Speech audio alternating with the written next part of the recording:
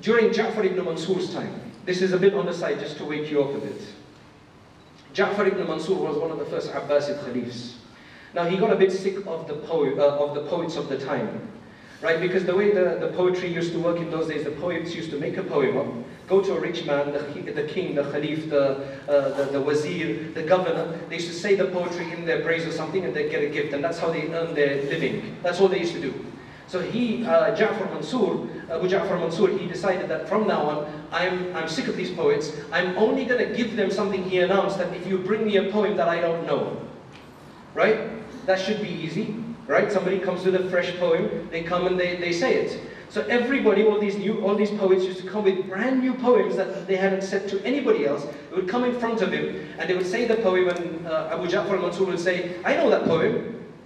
And he would repeat it word for word, straight away. And, uh, uh, and uh, uh, the, the, poet would just be there scratching his head. And then you know what Abu Ja'far al-Mansur would say? He'd say, my, uh, my, my, my boy servant, my male servant, he knows it as well. He had a male servant who could memorize something by listening to it twice. Abu Ja'far himself could memorize something by listening to it once. So the boy servant would read it as well. Now this, uh, this uh, shahid, this poet, is even more dumbfounded. And then he says, even my female servant knows it. She could memorize something by, by, by listening to it three times. So now all of these poets are coming and they're all going back empty-handed. Now they all met up in one place and they're all complaining that our industry is broken.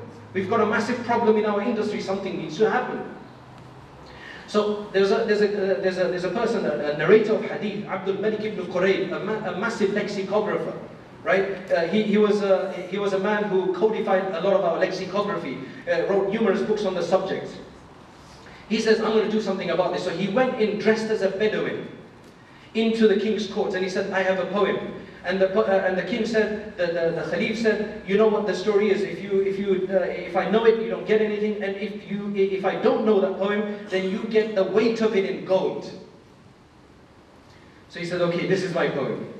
صوت صفير البلبل هيج قلبي الثمل الماء والزهر معا مع زهر لحظ المقل. And the king says, I know that. He says, no, hold on. صوت صفير البلبل هيج قلبي الثمل الماء والزهر معا مع زهر لحظ المقل. وأنت يا سيد لي وسيدي ومولدي فكم فكم تيمني. غزيل عقيقلي قد تفته من وجنة من لثم ورد الخجل. فقال لا لا لا لا, لا. وقد غدا مهرولي فولولت وولولت والخوذ مالت طربا من فعل هذا الرجل.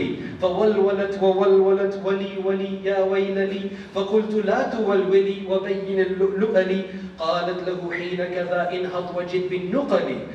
آه، شممتها ببنا نو. وفتية سقونني قهوة كالعسل شممتها ببنا في أزكى من قرنفل في وسط بستان حلي بالزهر والسرور لي. والعود دندن دنني والطبل طب طب طبلي تب طب طب تب طب طب طب طب طبلي It's not a joke, it's, these are words, they mean something. And then he says, So he says, والعود دندن دنني والطبل طب طب طبلي طب طب طب طب طب طب طب طب طبلي والسقف سق سق سقلي والرقص قد طابلي شوى شوى وشاهش على ورق سفرجلي وغرد الغمري يصيح على يسيح مللا في مللي ولو تراني راكبا على حمار أهزلي يمشي على ثلاثة كمشة العرنجل والناس ترجم جملي في السوق بالقلقلل في القلقلل لكن ولكن والكل كعك خلفي ومن حويللي. ولكني مشيت هاربا من خشية العرنجل عقنقلي إلى لقاء ملك معظم مبجل يأمرني بخلعة حمراء كالدمدمل أجر فيها ماشيا.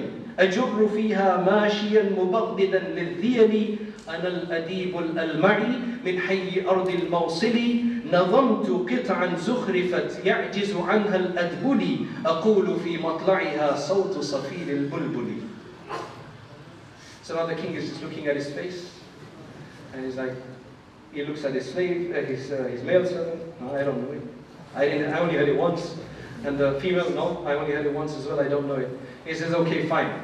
He accepted his defeat. He says, go and bring it written on something. So he goes outside and he brings it written on a pillar, a, a rock, which took 10 of the army to bring inside. So when they measured that with the box of gold they had, the treasure chest of gold, he emptied it all out. Now the king is sitting there, the Khalif is sitting there scratching his head. Who can this be? Now they know, I mean, he was a poet himself. He says the only person that could compose something as glamorous as that, right, as inimitable as that, it has to be Asma'i. Abdullah ibn, uh, uh Abdul Malik ibn Quraysh, Asma'i was his title. So he goes, call Asma'i. Asma'i, did you do that? He says, uh, yes, it was me. He said, why did you do that? He said, well, you've just, you've broken the industry of the poets. I had to help them out. He says, give me back my gold. He says, no, I'm not going to give it to you. He says, give it to me. He says, I'll give it to you on a condition that you uh, reinstate the industry where you give them gifts. He said, okay, fine. And then that's how it happened. Allah knows best, but that's what's related. Anybody memorized it, by the way? Anybody worthy of being a Khalif? That's memorized it by listening to it once. Come on, what's the, what's the state of our ummah today?